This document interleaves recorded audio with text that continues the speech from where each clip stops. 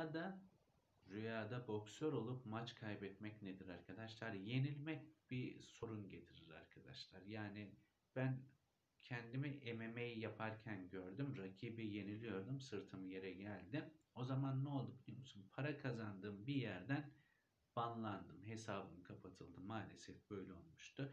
Yani bir zarardır arkadaşlar. Bir zararı işaret eder. Bir değer kaybını işaret eder. Yani maç kaybetmek, yenilmek bir başarısızlık, bir sorun işareti oluyor maalesef. Böyle kötü olumsuz rüyalar gördüğünüzde inna lillahi ve inna ileyhi raciun diyeceksiniz. Sırtınızı yere gireceğini gördüğünüzde de arkadaşlar şunu unutmayın bir gözden geçirin işlerinizi zarar edeceğiniz nereler var önleminizi alın. Görüşürüz.